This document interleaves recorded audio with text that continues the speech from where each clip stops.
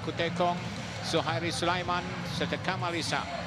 Penang Black Panthers memulakan saingan set pertama dengan pengutan mata berharga. Mereka berjaya meminta satu pemendahului Kelantan Warriors pada satu ketika mendahului dengan kelebihan tiga mata. Namun Kelantan Warriors yang diwakili Hasman Ciamin, Aidil Aiman Azwawi dan Aiman Fauzi tega bertahan dan kemasukan Hafizi Ma'ruf terus mengembangkan sayap perjuangan Kelantan Warriors dan akhirnya mereka menutup pertarungan set pertama dengan kemenangan yang sangat bernilai. Apakah anda melihat Penang Black Panthers tahap keyakinan tinggi tadi menjerat mereka menghadapi Kelantan Warriors di set yang pertama? Ya, uh, pada set yang pertama tadi eh, uh, uh, ketiga-tiga pemain uh, pasukan daripada Penang Black Panthers eh, agak berhati-hati. Ini menyebabkan uh, kesempatan ini yang diambil oleh regu uh, Kelantan Warriors untuk menjarakkan kedudukan mata.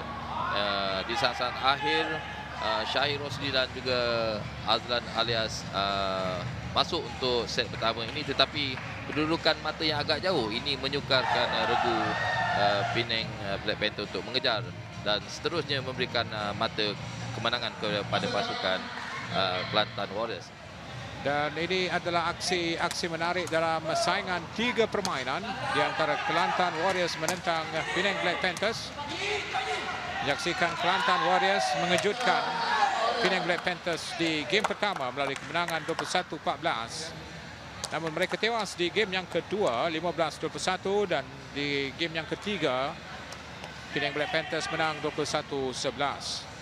Ya, kemenangan yang dihasilkan oleh uh, regu Penang uh, Black Panthers ni terletak daripada servis-servis yang begitu menarik yang dilakukan oleh Syahir Rosli serta uh, pertahanan yang uh, begitu ketara yang ditunjukkan oleh uh, kedua-dua pemain uh, Penang Black Panthers ini.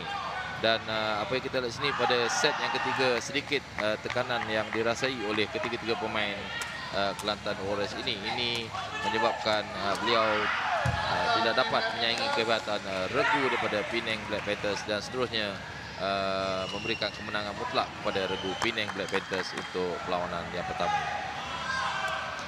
Bagi pasukan Penang Black Panthers telah kalah di set pertama. Kebimbangan itu jelas mereka mereka rasai dengan membawa masuk Syahir Rosli dan Azlan Alias pada set yang kedua dan pertukaran itu telah membawa hasil untuk kemenangan dua set berikutnya.